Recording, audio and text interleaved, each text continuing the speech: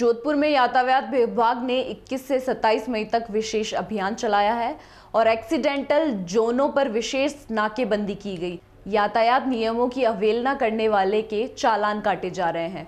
पूरे मामले के बारे में बताते हुए यातायात विभाग ने बताया कि सभी एक्सीडेंटल जोनों के जोनों को चयनित किया गया। यहाँ पर विशेष अभियान के तहत अलग अलग जगहों पर नाकेबंदी की जा रही है।